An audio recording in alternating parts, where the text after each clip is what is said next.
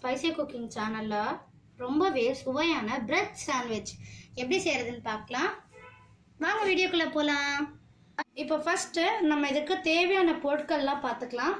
நான் வந்து ஃபஸ்ட்டு நாலு ஸ்லைஸ் பிரெட் எடுத்து வச்சுருக்கேன். அதுக்கப்புறம் ஒரு வெங்காயத்தை நல்லா பொடியாக நறுக்கி வச்சுக்கோங்க. ஒரு சின்ன சைஸ் தக்காளியும் நல்லா பொடியாக அரிஞ்சு வச்சுக்கோங்க. எல்லோ கேப்சிகம் ஒன்று நல்லா பொடியாக அரிஞ்சு வச்சுக்கோங்க. க்ரீன் கேப்சிகம் நல்லா பொடியாக அரிஞ்சு வச்சுக்கோங்க. கொஞ்சம் போல் கேபேஜை பொடியாக நறுக்கி வச்சுக்கோங்க. ஒரு கேரட்டை நல்லா பொடியாக அரைஞ்சி வச்சுக்கோங்க. அப்புறம் தேவையான அளவு கொத்தமல்லி எடுத்துக்கோங்க. நீங்கள் இவ்வளோ வெஜிடபிள்ஸ் போடணும்னு கூட அவசியம் இல்லை. கேப்சிகம் உங்கள் வீட்டில் இல்லை அப்படின்னா நீங்கள் இந்த ரெசிபியை ஆனியன் டொமேட்டோ இது ரெண்டு வச்ச கூட சூப்பராக செஞ்சு முடிச்சிடலாம். இதுக்கு தேவையான ஸ்பைசஸ் பார்த்துடலாம் ஒரு ஸ்பூன் அளவு மிளகாய் தூள் எடுத்திருக்கோம். ரெண்டு ஸ்பூன் தனியாத்தூள் ஒரு ஸ்பூன் கரம் மசாலா ஒரு ஸ்பூன் சாட் மசாலா அப்புறம் கொஞ்சம் போல் மஞ்சள் தூள். இப்போ ஃபஸ்ட்டு நம்ம சாண்ட்விச்சோட ஸ்டஃபிங் எப்படி செய்கிறதுன்னு பார்த்துடலாம். ஒரு கடாயில் அஞ்சு டீஸ்பூன் அளவு எண்ணெய் விட்டுருக்கோம். அதை வந்து சூடானோடனே நம்ம வந்து கடுகு சேர்த்துக்கலாம். இப்போ உளுந்து சேர்த்துக்கலாம். உளுந்து லைட்டாக செவக்கிற வரையும் வறுத்துக்கோங்க. இப்போ இதில் ஆனியன் சேர்த்துக்கலாம்.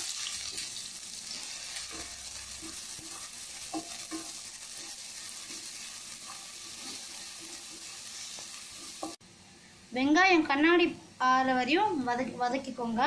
இப்போ அடுத்தது நம்ம தக்காளி சேர்த்துக்கலாம்.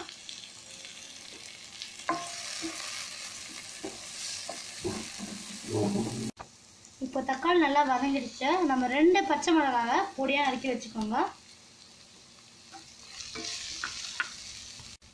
ஒரு ஸ்பூன் அளவு இஞ்சி பூண்டு விழுது. சேர்த்துட்டு இஞ்சி பூண்டு விழுதோட பச்சை வாசனை போகிற அளவு வதக்கிக்கோங்க. இப்போ இஞ்சி பூண்டு விழுதோட பச்சை வாசனைலாம் போயிடுச்சு. நம்ம வச்சுக்கிற வெஜிடபிள்ஸ்லாம் சேர்த்துக்கலாம்.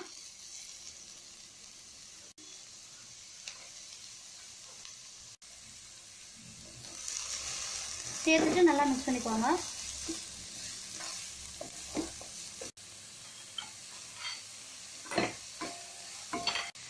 இப்போ இதை வந்து ஒரு டூ டு த்ரீ மினிட்ஸ் வதக்கிக்கோங்க. இதை வந்து ஒரு பாதி வெந்தால் போதும். ஃபுல்லாக வேகணும்னு அவசியம் இல்லை. ஏன்னா அந்த க்ரன்ச்சினஸ் இருந்தால் தான் அந்த பிரெட் சாண்ட்விச் ரொம்ப நல்லாயிருக்கும் வதக்கிக்கலாம்.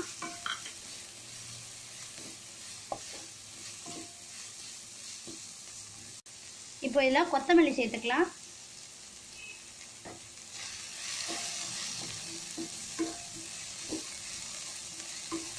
இப்போ டூ டு த்ரீ மினிட்ஸ் நல்லா வதங்கிடுச்சு. நம்ம வச்சுக்கிற மசாலா பொடியெல்லாம் சேர்த்துக்கலாம். மிளகாய் தூள் சாட் மசாலா தனியாத்தூள் கரம் மசாலா அப்புறம் மஞ்சள் தூள். சேர்த்துட்டு நல்லா மிக்ஸ் பண்ணிக்கோங்க. நல்லா மிக்ஸ் பண்ணிக்கோங்க.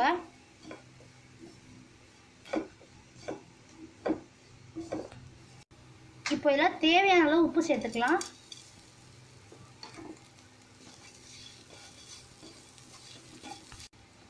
இப்போ இதில் கொஞ்சமாக தண்ணி சேர்த்துக்கோங்க. தண்ணி சேர்த்துட்டு மிக்ஸ் பண்ணிக்கோங்க. இது எல்லாமே கம்பைன் ஆகிறதுக்கு தான் நம்ம வந்து தண்ணி சேர்க்குறோம்.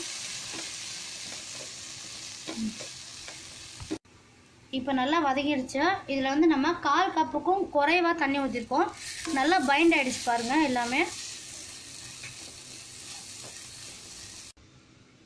இப்போ நம்மளோட சூப்பர் டேஸ்டியான ஸ்டஃபிங் ரெடி ஆகிடுச்சு இப்போ நம்ம பிரெட் சாண்ட்விச் செஞ்சிடலாம்.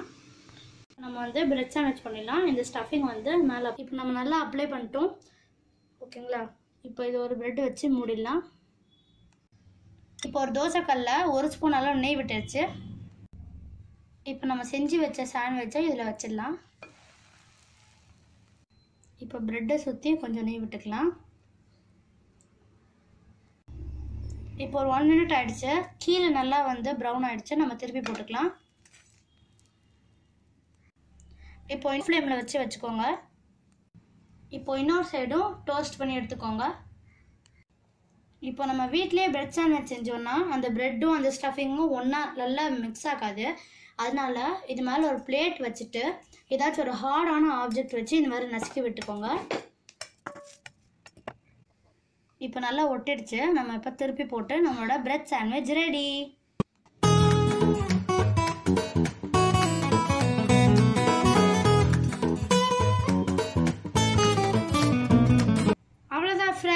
நம்மளோட சுவையான டேஸ்டியான பிரெட் சாண்ட்விச் ரெடி இதை நீங்கள் நிச்சயமாக வீட்டில் ட்ரை பண்ணிவிட்டு எப்படி இருந்ததுன்னு கமெண்ட் பாக்ஸில் சொல்லிடுங்க. லைக் பண்ணுங்கள் ஷேர் பண்ணுங்கள் subscribe to spicy cooking channel bye friends